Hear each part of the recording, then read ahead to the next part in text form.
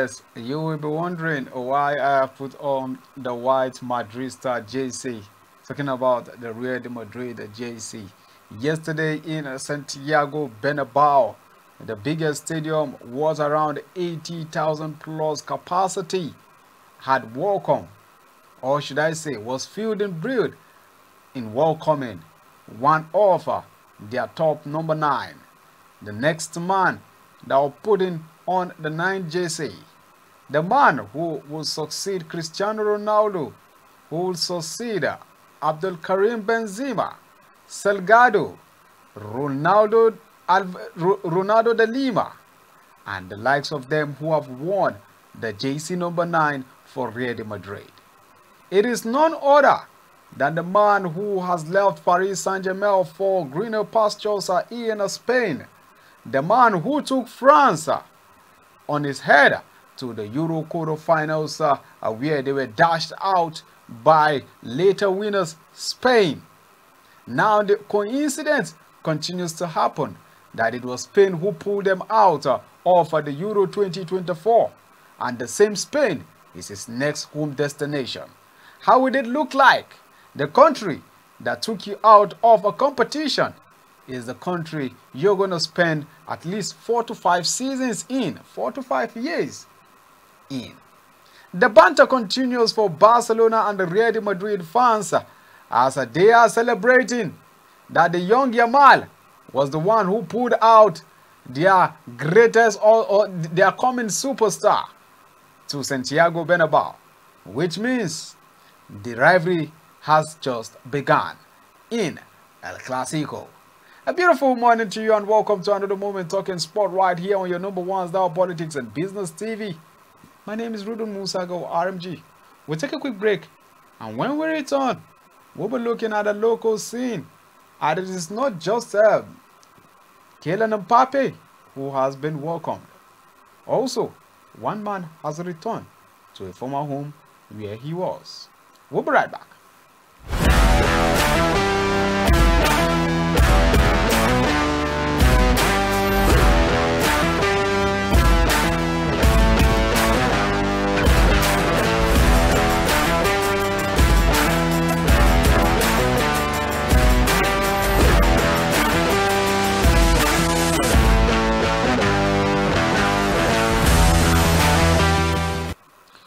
Welcome back. I'm glad to know you're with Politics and Business TV and PNB Sports.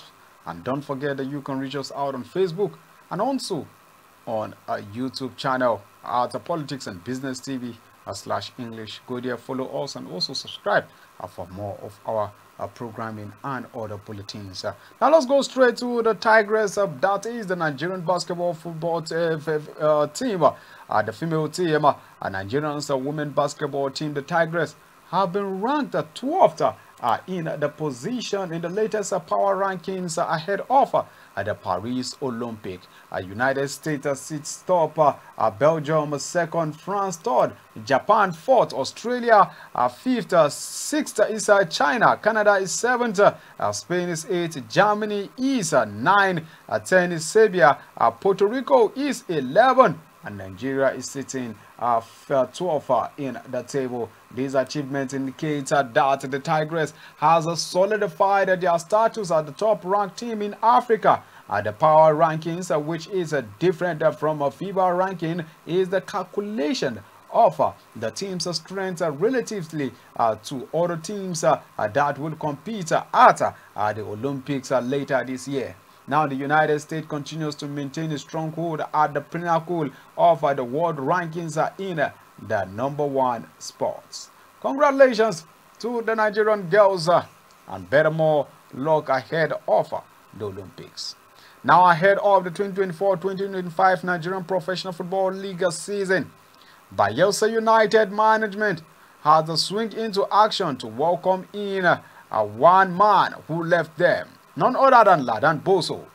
And Ladan Bosso has uh, been appointed as uh, uh the new coach uh, of uh, uh, the Bayelsa team while they unveiled him. They unveiled the Flying Eagles coach Ladan Bosso on a Tuesday afternoon at the stadium the new coach of the team. After staying with the national team for quite some time, Bosso decided to return to the Nigerian Professional Football League to prove his mental again as he has uh, coached the team uh, longer before now. The team uh, which was established uh, in the year 20 in the year 2000 uh, is uh, based uh, in Yenagoa, the Bayelsa State capital. Congratulations to my friend Ladan Bosso. Better look ahead. Now, the Nigerian Professional Football League has also announced a significant increase in the prize money of the upcoming 2024-2025 season, with the league champions set to receive a total sum of 200 million naira. Now, reports coming in is that the Nigerian Professional Football League revealed that through the chairman, Honorable Gbenga Elegbeleye, during the NPFL annual general meeting known as the AGM meeting in Abuja on Tuesday, Recall that the previous winners Rangers have received a total sum of 150 million naira and are set if they would retain it again to get a 50 million add-ons. Well, this is beautiful. The Nigerian Professional Football League is beginning to be something enticing. Now it has also confirmed officially that the 2024-2025 Nigerian Professional Football League season will run its normal full match days after the AGM meeting yesterday, there has been speculation that the past days, the upcoming league season would be an abridged format due to financial constraints experiencing uh, by some team last season.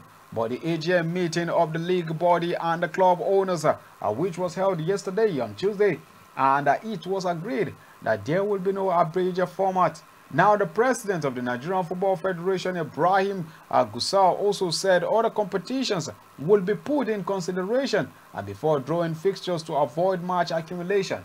He further made it clear that uh, there will be no postponement of any games whatsoever. All right, we'll still be maintaining the shows of the Nigerian Professional Football League as more details is coming out from the AGM meeting yesterday where the Nigerian Professional Football League March Day 1 for 2024-2024 season has been reviewed uh, following the conclusion of uh, the league's AGM meeting on Tuesday. Now, the curtain uh, raiser and the Super Cup March Day 1 uh, for the 2025 NPFL season will see defending champions Rangers International take on a President uh, Federation Cup champions El Kanemi Warriors uh, in March day one. Now, according to the league organizers, the curtain raiser will be the only encounter for the opening uh, week, uh, billed for August 31st, uh, 2024, while the remaining March day one fixtures will take on uh, the following week uh, uh, with the NPFL 2024-2025 season. March day one fixtures are scheduled as Lobi Stars versus Akwa United, Abia Warriors versus Remo Stars, uh, Beyond Limit versus Yimba FC, Bendel Insurance versus uh, Rivers United, Kano Pillars versus Korodu City, Sunshine Stars versus Bayelsa United, uh, Rangers versus El Kanemi Warriors, Nasarawa United versus Shooting Stars, Plateau United versus Katsina United, and the last one is Kwara United versus Niger Tornadoes in a Northwestern Derby. All right, on the North Central Derby, I beg your pardon. Now let's leave the shores of NPFL. Let's go straight to the former Super Eagles assistant coach Usman Abdullah. Has shockingly stated that no Nigerian coach is good enough for the managerial role of the country's senior men's national team. Now, Abdullah's assertion comes after the Nigerian Football Federation announced it was considering hiring a foreign coach following the resignation of Nigerians uh, Finidi George last month out of the 27 coaches uh, that has managed uh, the Nigerian Super Eagles since uh, its inception.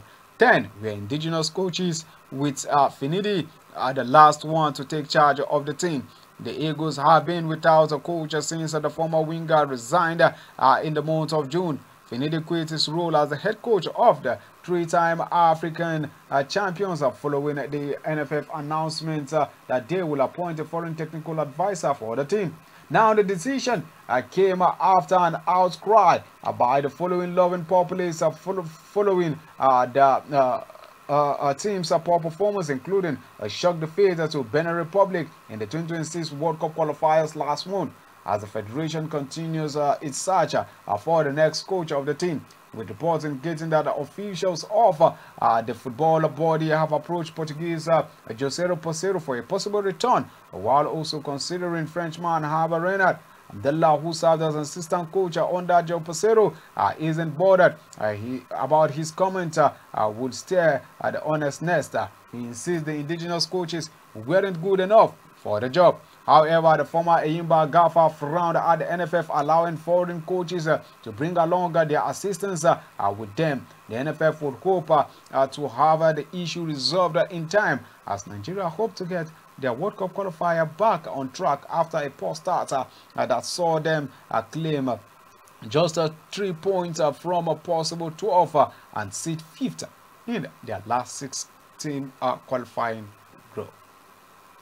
all right, enough from the locals. See now, let's go for a quick break. And when we come back, we'll be looking at Rafael Nadal's return to clay court. We'll be right back.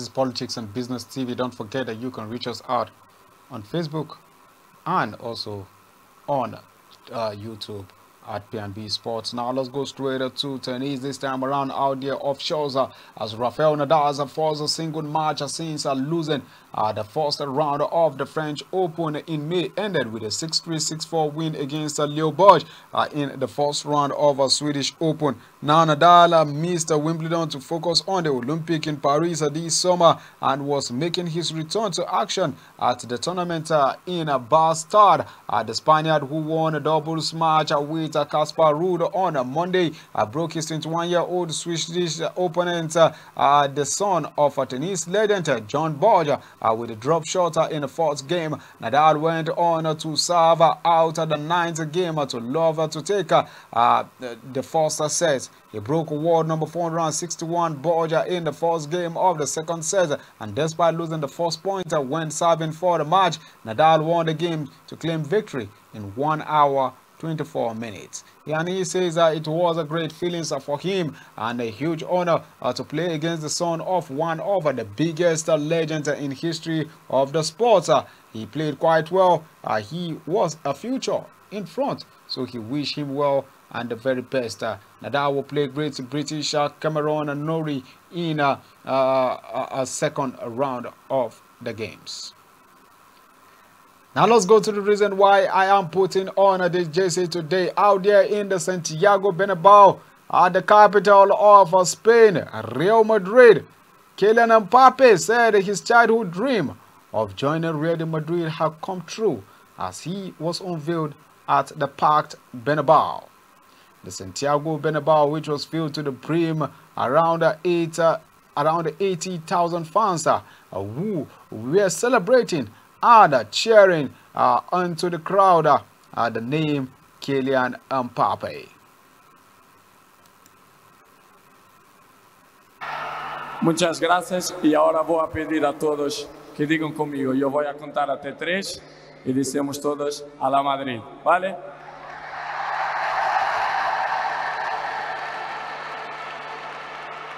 Vamos. Uno, dos, tres.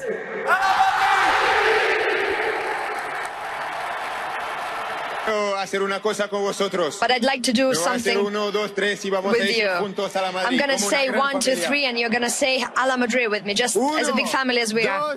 Tres, one, two, three.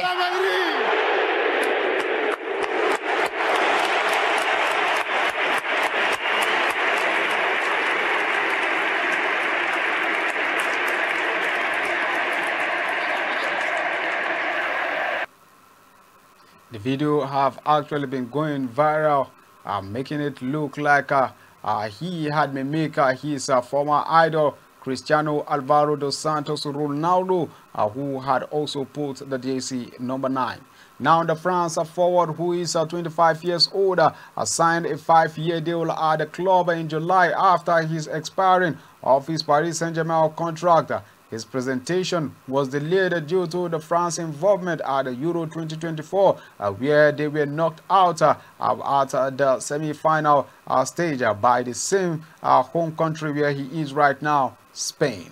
But speaking to the crowd, of over the 80,000 spectators at Bernabeu, Mbappe told supporters that he had dreamt of the moment that he could be called himself a Real Madrid uh, player.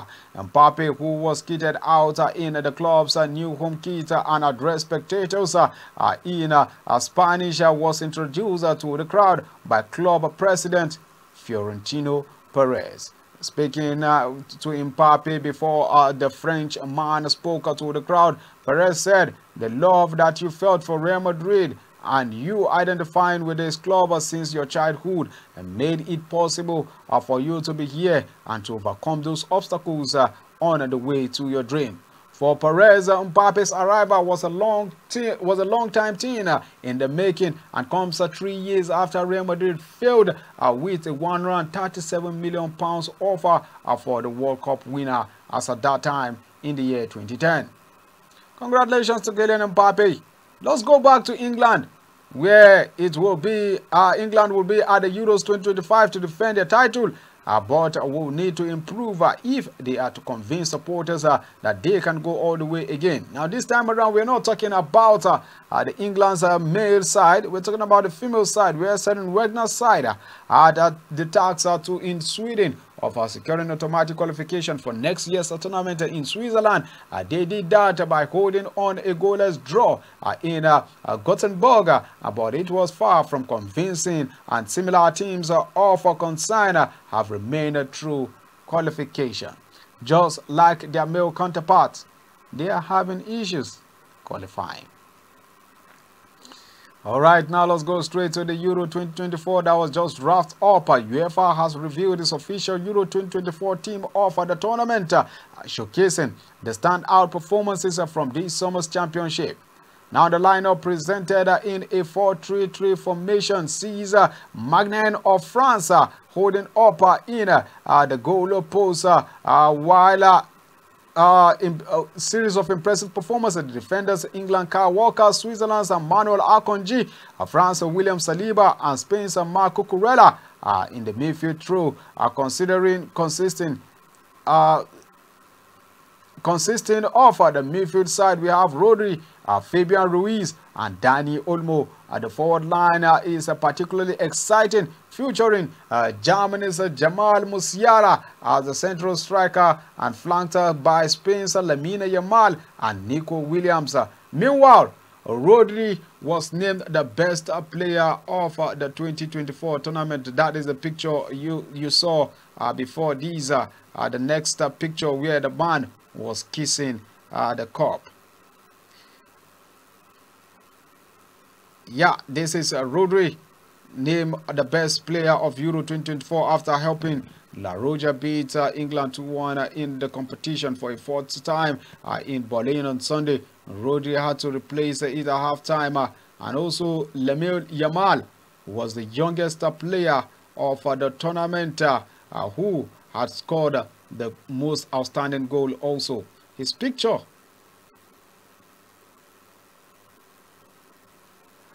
All right, I guess uh, his picture, okay, Lamine Yamal there, and uh, he was the youngest player of the tournament and also the man with the most outstanding goal uh, after uh, the Jude Bellingham uh, coming in second with the most outstanding goal.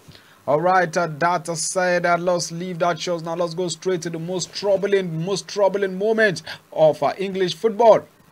Their coach, Gary Southgate, has uh, after 102 matches at the helm, stretching eight years, has quit as the Three Lions boss after a defeated uh, defeat by Spain in Sunday's Euro 2024 final. It will be a tough act to follow as on top of overseas England run uh, to the Euro 2024 final. Southgate has taken his country uh, to the Euro 2020 final at London, a World Cup semi-final and a World Cup quarter-final. So, who will follow him. PNB Sport takes a look at some of the contenders before asking you to choose who you would like in charge. Let's go for a quick break, and when we come back, we'll be talking about this list of men who could be in charge of English football. We'll be right back after this quick one.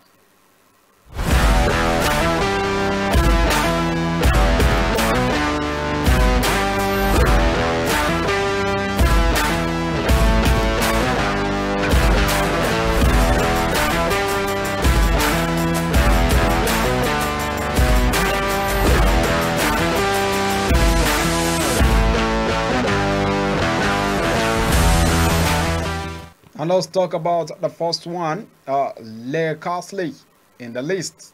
Perhaps a left field candidate, but England's under 21 manager, Lee Carsley, is well thought of at the Football Association. Uh, he has been with the FA a long time and won the European uh, under 21 championship last summer. He could potentially buy the FA time as an interim manager until a big name was free next summer.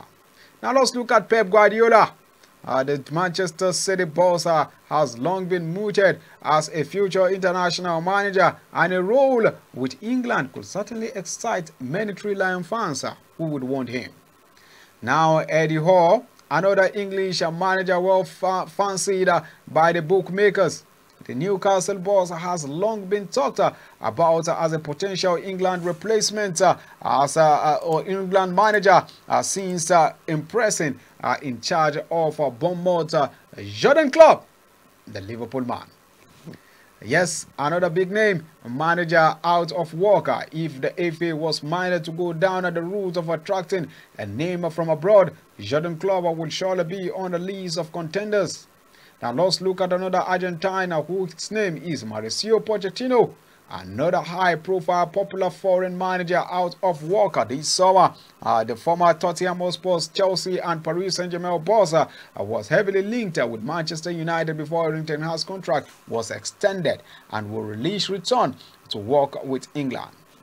Let's look at former Chelsea boss uh, Graham Potter. Uh, the former Brighton boss and Chelsea is one of the favorite among the bookmakers after impressing in the three uh, years in charge of Brighton. His reputation did suffer a bit blow uh, when he was sacked by Chelsea after less than seven months in charge in the month of April 2023.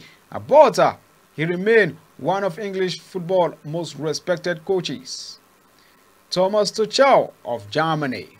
Another highly rated manager who is looking for work this summer, a legend at Chelsea, uh, for helping the club uh, win the UEFA Champions League uh, in 2021. He left his job at Bayern Munich at the end of last season, despite talks to persuade him to stay.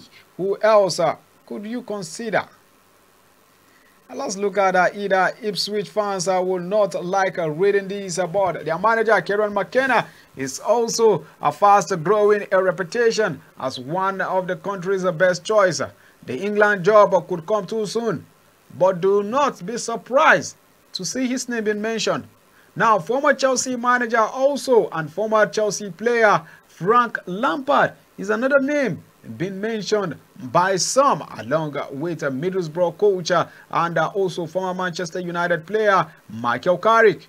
Celtic boss Brendan Rodgers is also not exempted and ex-Chelsea manager Jose Mourinho, who is presently currently playing his shows with Fenerbahce, are the big names unlisted. Let's see how it turns out from now till next month where there will be big names coming in uh, to have interviews, auditioning, and the likes of them. But for me here, we say, Hala Madrid for the Madrid star fans. I'm just saying it. We meet tomorrow for another exciting moment of the Thursday's edition of P&B Sport. Bye for now.